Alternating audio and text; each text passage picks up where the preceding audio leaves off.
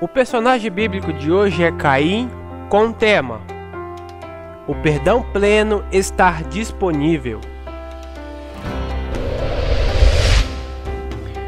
Gênesis 4, 9 diz: E disse o Senhor a Caim: Onde está Abel, teu irmão? E ele disse: Não sei, sou eu guardador do meu irmão? Dentre suas outras distinções, Caim é o primeiro a oferecer ao mundo uma frase inesquecível. Essas famosas palavras vieram a ser uma forma de desculpa, desrespeitos pelos entes queridos e completa mentira. Sendo homem difícil, forte e impetuoso, Caim desprezava a fraqueza e tinha pouca paciência com aqueles cujo trabalho julgava inferior. Ele deu pouca consideração a Deus, independente e determinado, não temia pedir um tempo quando sabia que tinha sido atingido. Depois que Caim assassinou Abel, Deus colocou-lhe uma marca.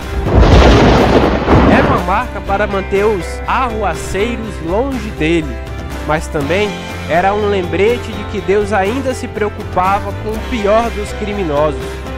A história de Caim nos ensina a nunca desistir de ninguém. O amor e a misericórdia de Deus alcança as pessoas que não os merecem, cujas personalidades são endurecidas e resistentes. Deus nunca desiste de ninguém.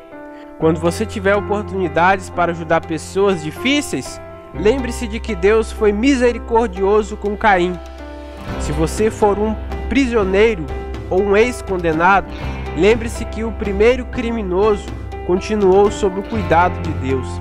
Se você é uma vítima de crime, mesmo sendo difícil, deixe Deus realizar o julgamento e decidir a sentença, de forma que seu coração esteja livre para perdoar e viver de novo.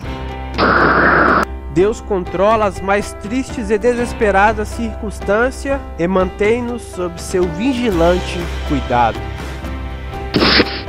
Se você é novo no canal e ainda não sabe como se inscrever, Clique no botãozinho vermelho e se inscreva e você já estará inscrito. Clique também nesse sininho caso você esteja vendo pelo celular para que você possa vir a ser notificado de quando sair vídeos novos no canal. Fique com Deus e que Deus possa abençoar a sua vida.